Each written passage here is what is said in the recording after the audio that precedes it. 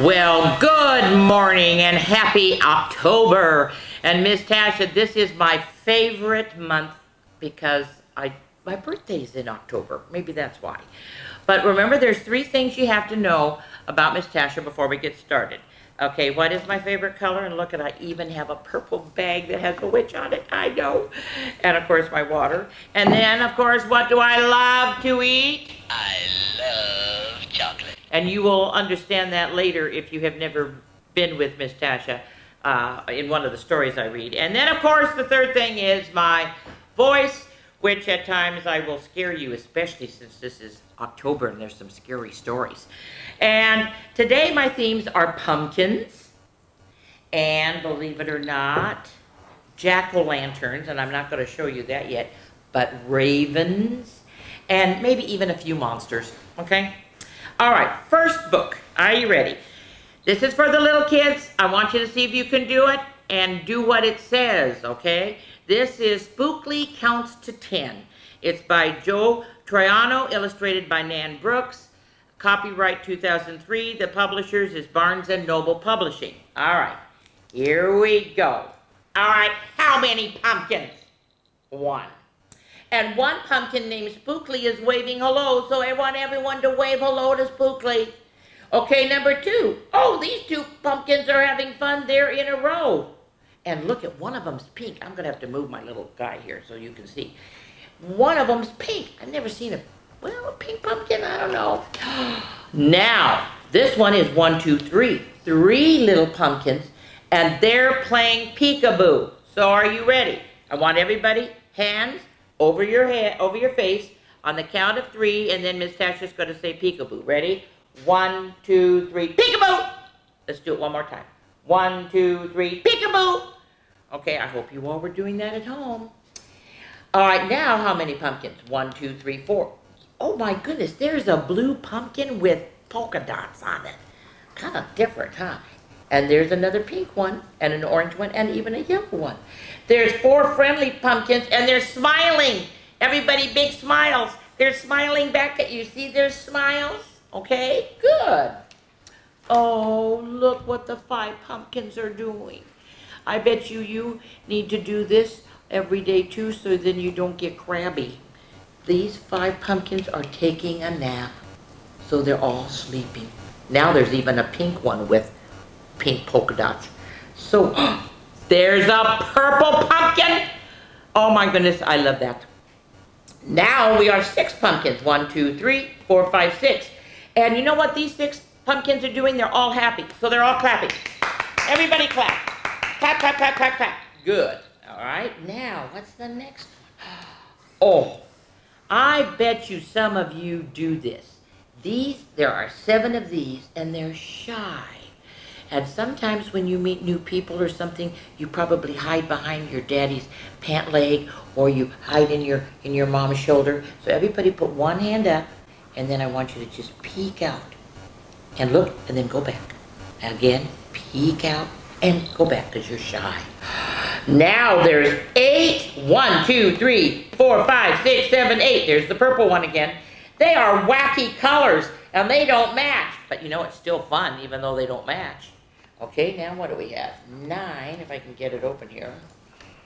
Sometimes these don't work for Miss Tasha. There we go. Nine.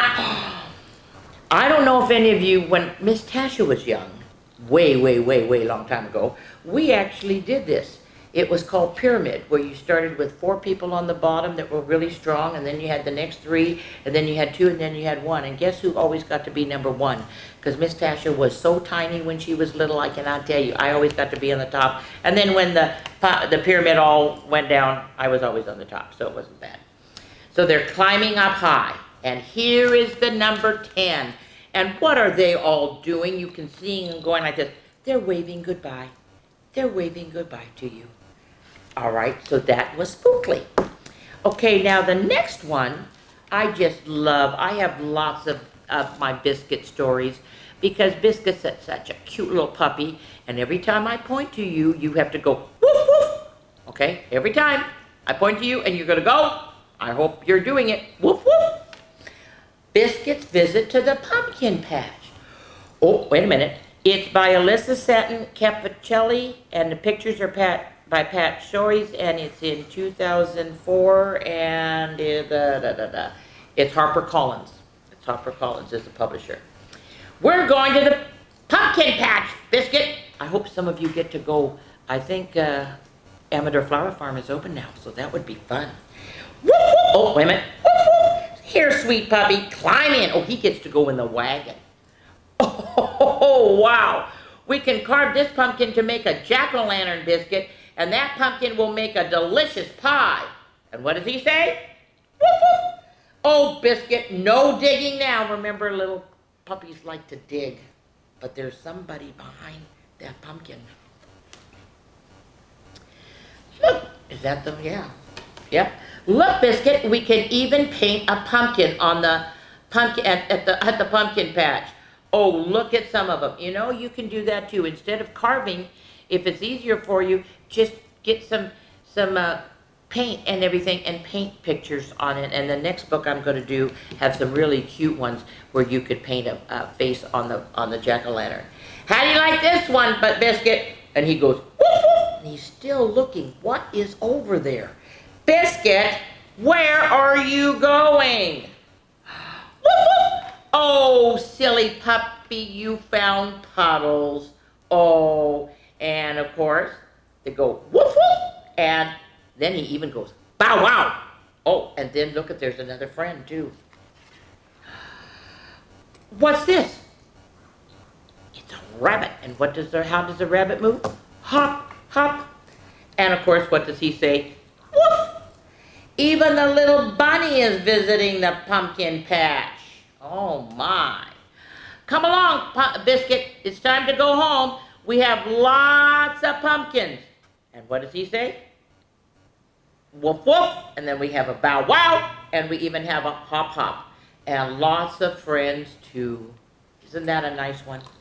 Okay, off goes this one. And on goes, because I'm going to read about a A jack-o'-lantern. I know.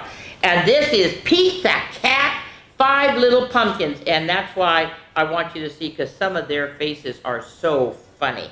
Are you ready? All right, here we go. Oh, this is by James Dean. The cover design is by Jean L. Uh, Harper, uh, in 2015, and it's the Harper Collins Publishers. All right, here we go. Five little pumpkins. One, two, three, four, five.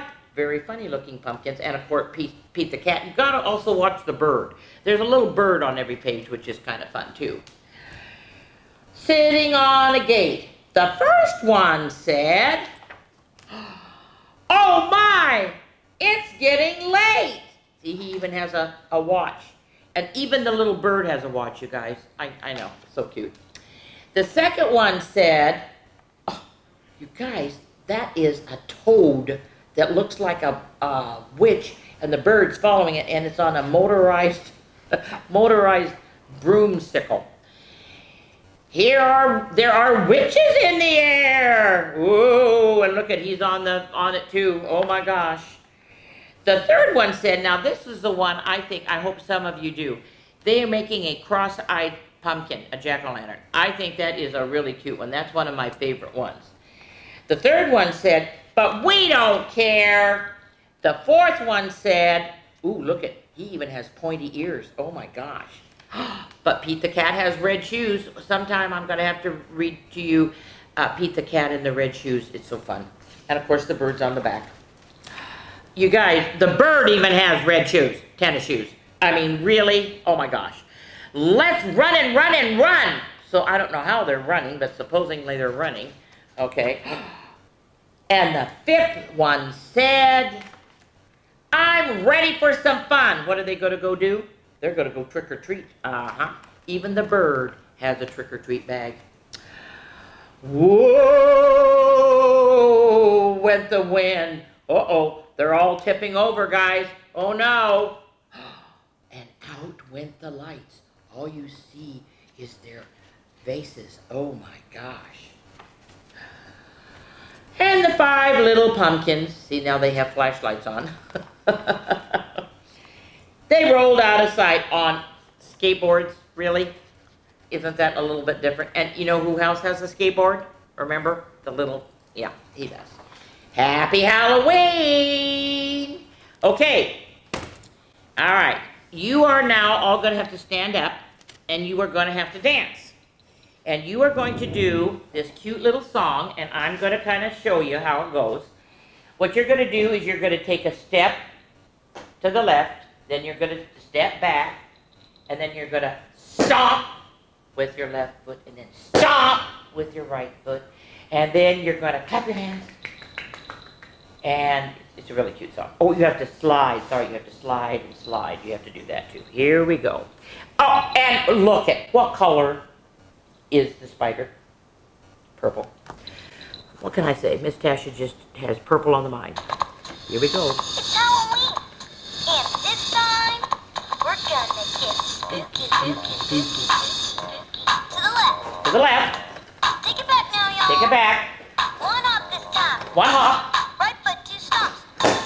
Left foot two stomps. Slide to the left. Slide to the left. Slide to the right. Slide to the right.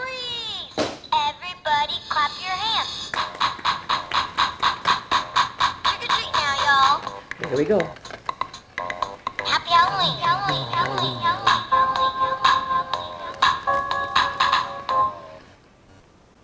Okay? You think you can do that? We'll go all the way through one more time, really fast. It Doesn't take long. Here we go. It's Halloween, and this time we're gonna get spooky, spooky, spooky, spooky. Here we go. To the left. To the left. Take it back now, y'all. Take it back. One hop this time. One hop.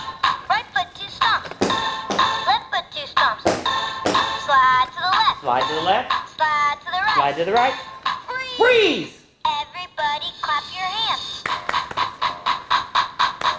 Trick or treat now, y'all. Okay, now ready? Here we go. Everyone whispering. Happy Halloween. Halloween. Halloween. Halloween. Halloween. Halloween. Halloween. Okay, there you go. That was a cute one. I love that one. All right, now Miss Tasha has to do a little, a little changing here because I am going to become a raven. Miss Tasha is going to become a raven. So this has to go off. And I have to wear a hat that is very fancy. And where is the thing? Here we go. Okay, do you see the bird? Do you see the big bird? And see Miss Tasha's raven cloak? See how all the pretty colors they can have in it? I know. Okay, now the next two stories are about ravens. And the ravens, these are books from Alaska. And these are folk tales. So they are stories that have been handed down and handed down uh, generations and generations. And on this one, this one is really neat because you guys, this one is a Caldecott Award winner. And to be a Caldecott Award winner and is really something. And there's other fun books that you might want to to get in addition to this one. There's about there's one about a coyote and a rabbit and uh, some a parrot and a turtle. Okay, here we go. This is Raven, a trickster tale from the Pacific Northwest, and it's by Gerald McDermott. It's illustrated by him too. It's Voyager Books Harcourt, incorporated in 1993. And at the end, you are going to have to, we're going to do something where this is going to be your challenge, okay? Here we go. All right. Oh, oh, I think I missed one. It's hard because I have, nope, this is it, okay. Raven came. Look at how beautiful the pictures are. All the world was in darkness. The sky above was in darkness. The waters below were in darkness. Men and women lived in the dark and cold. That's not good. And look how beautiful he is. Raven flew across the valleys and across the mountains. He flew along the rivers and over the lakes. There was darkness all around, But you notice something? I wonder if you saw that. Then he saw a bit of light far away. He flew and flew and came closer to the light. The light was at the edge of the water. Whoa! Look at that. That's kind of like a castle or a big, beautiful hut, and it has totems, and that's what we're going to talk about later. Well, the light came from a house of the sky chief, and it was shining. Raven perched high in a pine tree on the shore, and Raven watched. There he is. Well, he saw a beautiful young girl emerge from the shining house and go to the edge of the water. She was Sky Chief's daughter. She knelt and drank some water from a woven basket. Now remember, he's a trickster, so he can change himself into other things. So he changed himself into a pine needle. See, I have pine needles on mine. He flew down from the tree and he floated on the water. And when the little girl drank again, she swallowed some of the pine needle. Oh. Well, after a time, the little girl gave birth to a child, and the child was small and dark with shiny black hair and tiny black eyes. What, who do you think that child was? It's the raven as a, remember he can change. It's the raven as a little baby. Raven had been reborn as a boy child. The Sky Chief was delighted with his daughter's child. He called him grandchild and he played with the boy and carved toys for him and he invited the elders to come and see the curious, wondrous child. So there they all are. Look at the little guy. Ah.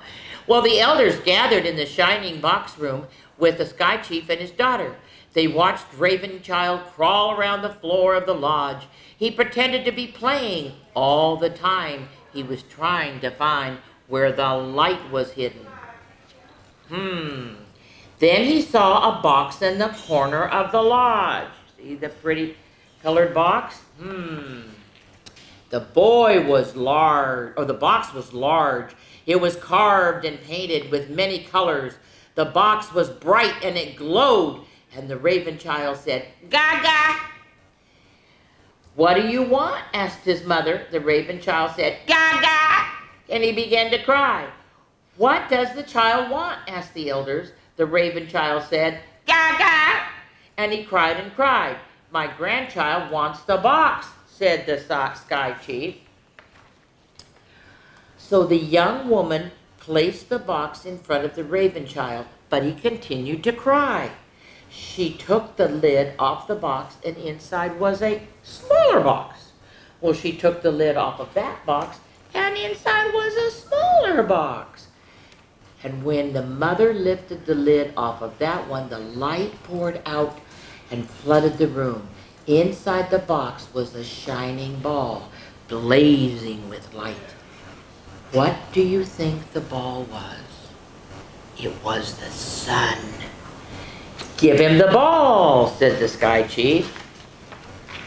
Oh boy, is he happy. His mother gave Ravenchild the ball. Ravenchild stopped crying. He began to play with it. He rolled it around the floor of the lodge. Gaga! Then, guess what he did? He changed himself into a bird. Ha ha! He became the raven once again. Ka! Ka! Sky Chief and his daughter and the elders looked in amazement as the raven plucked up the ball of light in his beak, flew through the smoke hole in the top of the lodge, and disappeared into the night sky. Oh boy. Well, Raven flew over the valley and the mountains, and he flew along the rivers and across the lakes. Then Raven threw the, the sun in high into the sky. He threw it all the way, and it stayed there. This is how Raven stole the sun and gave it to all of the people. And the nice thing about it is, and why do the people always feed ravens? To thank them, to thank him for giving them light. So they feed him fish. Isn't that a neat one? Now, this is going to be, I think, in the paper. And this is your challenge, is that I want you to make totems, and it tells you here what you can do. And then the other thing is, remember, what does Miss Tasha love? What do I love? Come on, guys. You know what I love. I love to eat. Come on, come on, come on. What is it? Chocolate! So I didn't have a lot of time, so I did things that all had, you know, chocolate on them. And, and I opened the first box. And lo and behold, here is a puzzles that I'm going to give to my bunco group. And of course, it's, it's little cupcakes. And of course, a lot of them are what, what flavor? Chocolate. And then I open the third one. Now you got to remember, what does Miss Tasha love? Chocolate. So here's my third little box, and it says, I never met a chocolate I didn't like.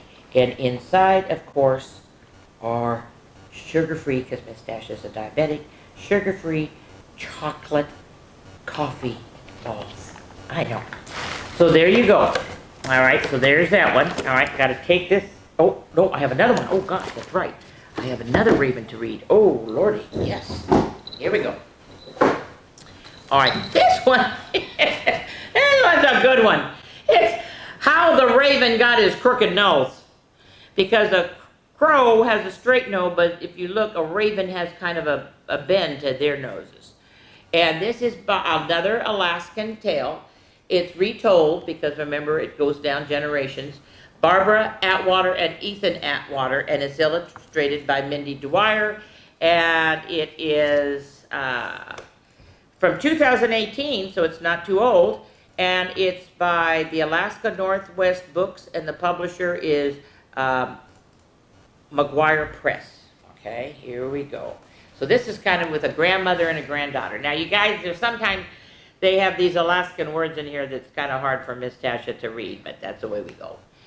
Slow down, child, said grandmother. It's better to take your time and do things right.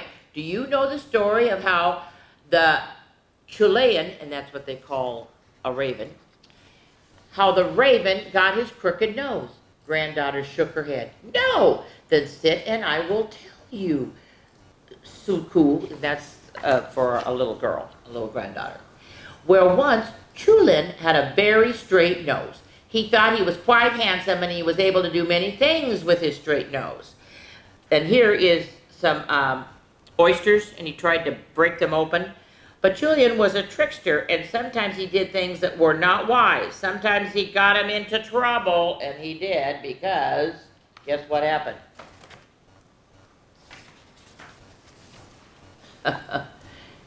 he broke his beak. Broke it. And things could not have gone have gone any worse.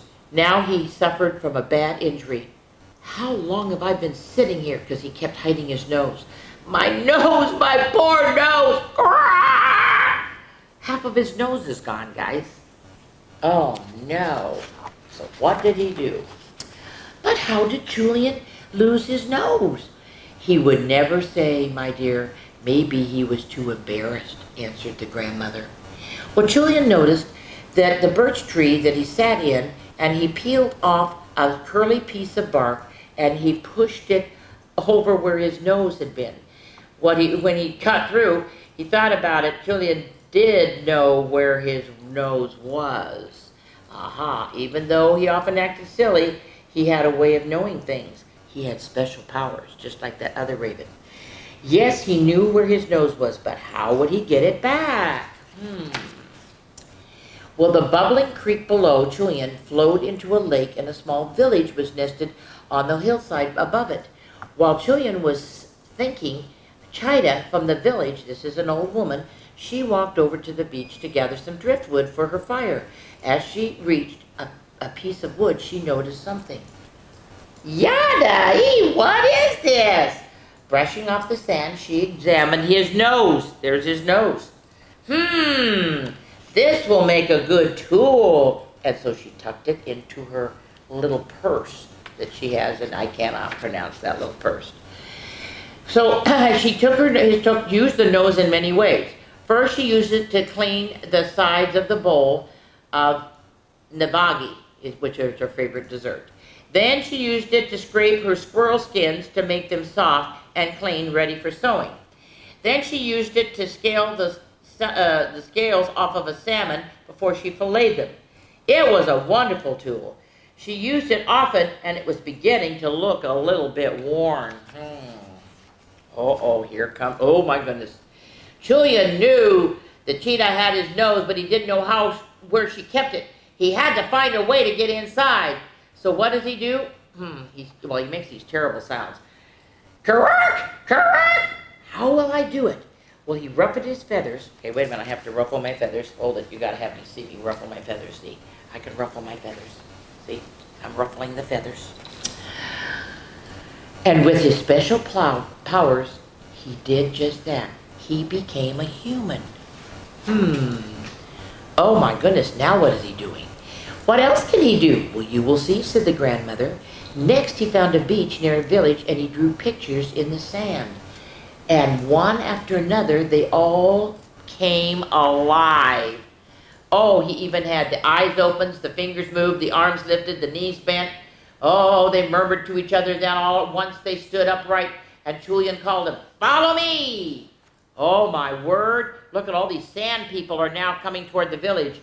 Quack, quack, make lots of noise. Well, it scared everybody in the village, including Chida, and they ran away. So he didn't take any time at all. He looked for near the bowl. Nope, it was not there. Then he looked at the pile of squirrel thing. Nope, it wasn't there. Then he looked at the fish. Nope, wasn't there. Where was it? oh, he better hurry because he's starting to become back to be a bird. Then he went around her house and his magic began to run out. The villagers were coming close. They were home. They were coming home. Finally, he looked in her nice little purse and he found his nose. Just in time, he jammed it back on his face and he flew away. And of course, don't you like this? Look at all the purple pictures. I mean, I can't tell you. He was so happy to have his nose back. Correct, correct. But the only trouble was when he was in a hurry to put it back on his face, he didn't pay attention, he didn't notice, and he jammed it back on without care, and so that's why he has a crooked nose. So that's why they have crooked noses. So now the little grandmother, the grandmother says to the granddaughter, it's, it's always best to take our time and do things right. We may not get a chance to fix our mistakes. Just look at Julian. He still lives with a crooked nose. Die! And that's what happened, and that's what it means. So there you go. And one more time with Miss Tasha's beautiful, whoops, I got, this is so hot, guys. But this is my beautiful cloak. This is my raven's cloak. I love my raven's cloak. Isn't it beautiful? Yes, it is. All right, now, uh -huh, which one do I wear now? Oh, yes, okay, here we go. Oh, this one, you guys, is so funny. I love this one. And you know what? You can get one just like this. It only costs a dollar. it's at the Dollar Tree. Of course, there's different colors, but what color did Miss Tasha have to have? Purple. I know, the only trouble is sometimes I can't see, but that's okay. All right, so here we go. This is Moldylocks and the Three Scares. It's a zombie tale by Lynn Marie. It's illustrated by David Rodriguez Lorenzo. It's uh, from Scholastic Incorporated in 2019. And how many of you know Goldilocks and the Three Bears? Oh, and this one, believe it or not, was given to me by Little Oak last year for my birthday. All right, here we go. In a haunted huge house was room for four, but they, uh, there lived three scares. Uh, one chilly night, Papa sliced fingers. Oh, God. Gotta remember they're monsters. Sliced finger sa sandwiches and brewed a batch of apple bat soup. The recipe for four, just enough for one more. Mama prepared potions in the lab. I wish I had an assistant. And baby swept bats from the bell tower. So much time and so no one to play with. Time for midnight snack, call, Papa and he ladled up the soup, an enormous tub for himself, a middle-sized cauldron for Mama, and an itty-bitty bowl for the baby. In a little itty-bitty bowl. Oh! This soup is too hot. It's boiling my bolts. See, his bolts are coming off. Oh, this soup is hot. I'm unraveling, moaned Mama. this soup is hot, giving me a fangache instead of a toothache. It's a fangache. Let's take Plasma for a walk while the soup cools. Okay, so they're going on a walk. Uh-oh. Here is supposed to be little Goldilocks, but this is Moldy Locks. It's the name because she's a zombie. She sleepwalked in the moonlight. Wafting sound of soup lured her through the maze of headstones. Her stomach was grumbling when she came upon the haunted house. It smelled like home, something hadn't she hadn't enjoyed in a long, long time. Hello? No answer. The shutters clattered. The porch creaked. Moldy Locks peeped then, tiptoed across the floor toward the kitchen. Mmm. she sniffed the scent. Mmm. She sipped Papa's soup. Woo! Too hot. She swigged Mama's soup. Woo! Too cold. And then she slurped baby soup. Just right, and she gulped it all down. Her belly was full, and she wandered into the living room. What does she go to next? Does everyone remember? The chairs. Yes. She strapped into Papa's chair. Woo! Too hard. Because remember, that has electrodes on it. Then she sagged into Mama's chair because of all the, the mummy stuff, and so she it was too soft. And then, snap, boom, the chair collapsed. Oh no. Then she picked herself up and she dusted herself off. Yawed. She searched, wait a minute, where is the... Oh, then she stooped into baby's chair just right. And then, oh my God, she broke baby's chair. Well, then she yawned and she searched for a resting place. Well, first she tried Papa's bed. Ouch! This is too hard. Well, it's a bunch of concrete, no wonder. Then she squeezed into Mama's bed. Oh my goodness. She goes, oh, this is too tight. Well, yes, I won't go there. Lastly, she snuggled into baby's bed. Ah, just right. She buried herself under the sheets and she fell asleep. Shortly after the three scarers came home, somebody's been eating my soup, bellowed Papa. Somebody's been eating my soup. Oh, somebody's been eating my soup, uh, Mama shrieked. And somebody's been and didn't leave a drop, said the baby. Then they went into the living room. Somebody's been sitting in my chair, thunder Papa. Somebody's been sitting in my chair, Mo Mama. And somebody's been sitting in my chair, murmured Baby, and now it's just a pile of dust. Oh, no. Well, Plasma trapped the intruder upstairs, and the three scares shuffled behind. Somebody's been lying on my bed, boomed Papa.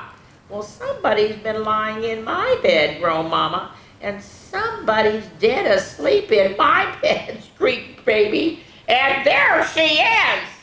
Oh my gosh, wouldn't that scare you? How dare you!